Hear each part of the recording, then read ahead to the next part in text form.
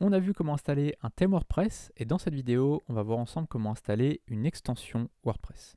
Alors déjà un petit rappel, extension, plugin, add-on, c'est la même chose. C'est trois mots différents qui veulent dire la même chose. Extension, c'est plutôt en français, plugin, ça va être plutôt en anglais et add-on aussi, ça va être plutôt en anglais. Mais euh, sur certains sites américains, ils disent aussi extension. Donc euh, voilà, les trois mots fonctionnent, extension, plugin, add-on. Alors une extension, qu'est-ce que c'est? C'est un petit logiciel qu'on va mettre sur notre WordPress et qui va nous permettre d'avoir des fonctionnalités supplémentaires.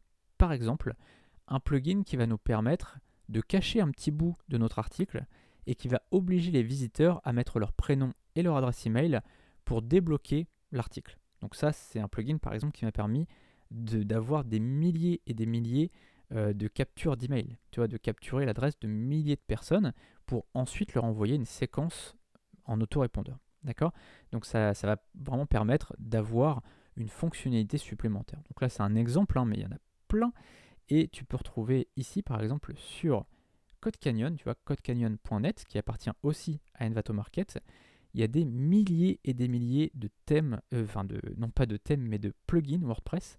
Euh, les thèmes, c'est sur ThemeForest, et là, c'est Code Canyon, donc c'est des codes, c'est des scripts, c'est des plugins. Et ici, donc, tu vas pouvoir trouver des plugins pour à peu près tout.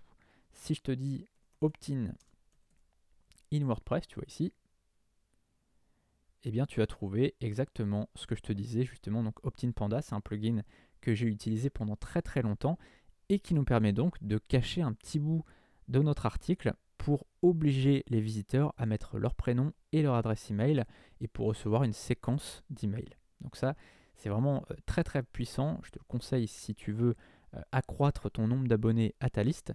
Euh, voilà, utilise-le. C'est un petit plugin qui coûte pas très cher finalement par rapport à ce que ça te rapporte derrière. Donc ça, c'est un plugin premium, mais il y a aussi évidemment des plugins gratuits. On va aller ici sur le tableau de bord et je vais te montrer où est-ce que ça se trouve.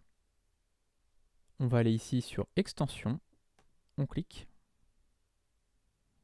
et on va voir donc la liste de nos extensions on va cliquer sur Ajouter.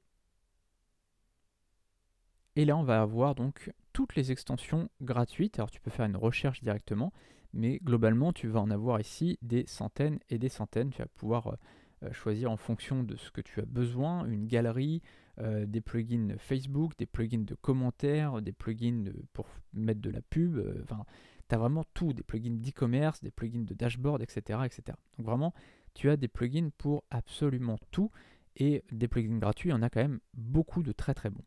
Alors si tu voulais installer une extension payante, une extension premium, comme par exemple celle-ci, tu devrais aller ici sur téléverser une extension et mettre ton fichier ici. D'accord?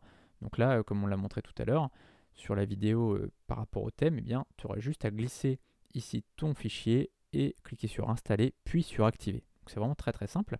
Mais là, c'est encore plus simple pour les, euh, plugin gratuit, puisqu'il y a juste à faire une recherche ici de ce que tu veux et à l'installer. On va cliquer Yoast, enfin taper Yoast, pardon. Voilà. Et Yoast SEO, donc c'est un plugin que je te recommande vivement. On va s'en servir dans la suite de la formation.